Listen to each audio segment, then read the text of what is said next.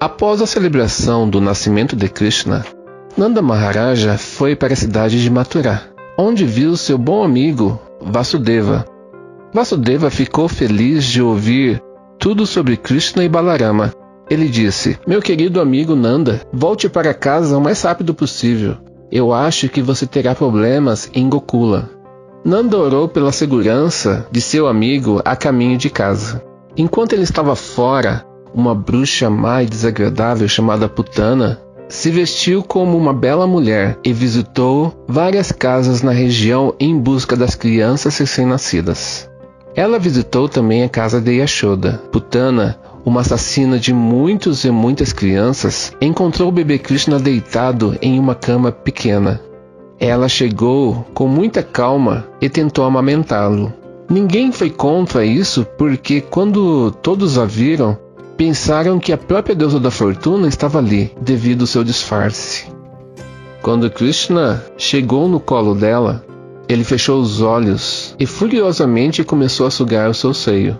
Na verdade, Putana veio matar Krishna com o veneno que ela havia posto nos seios. Foi dessa forma que ela matou muitas crianças no passado. Krishna a segurou com as duas mãos e ele sugou todo o veneno juntamente com o leite e finalmente o ar vital dela. Imediatamente ele a matou e ela caiu no chão chorando. Oh, criança, me deixe, me deixe em paz.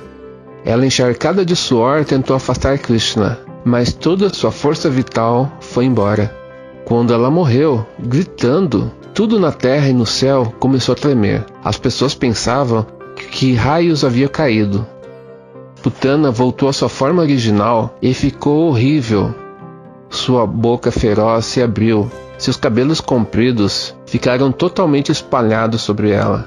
Seus braços e suas pernas, caídos, estavam tão grandes que ela esmagou árvores que estavam na distância de 20 quilômetros. Seus dentes pareciam estradas buracadas. Suas narinas pareciam cavernas nas montanhas. O seu cabelo parecia um grande arbusto vermelho. As mãos dela pareciam grandes pontes. E seu estômago parecia um lago seco. Quando as golpes encontraram o pequeno Krishna brincando alegremente sobre o enorme peito daquele demônio chamado Putana, elas pegaram ele rapidamente. Mãe Rohini e as outras golpes idosas abandonaram as suas vacas para ver o que estava acontecendo. A poeira que saía dos pés das vacas foram jogados para todos os lados. Todas as mulheres cantaram os doze nomes de Vishnu para dar proteção total ao corpo de Krishna. Então Mãe Yashoda pegou ele e colocou em seu colo. Embora Krishna seja o supremo Vishnu, as golpes o amavam tanto e sempre cuidavam dele como se ele fosse uma criança indefesa. Após o incidente com Putana, todos os vaqueiros chegaram em sua casa em Maturá e foram atingidos por um grande susto ao ver um gigante cadáver da demônia Putana. Nanda Maharaja lembrou-se das palavras de Vasudeva sobre os problemas em Vrindavana. O povo de Vraja cortou o gigante corpo monstruoso e o empilhou em madeira para queimar. A fumaça do fogo cheirava como se fosse uma grande árvore perfumada, devido a ela ter encostado no corpo de Krishna.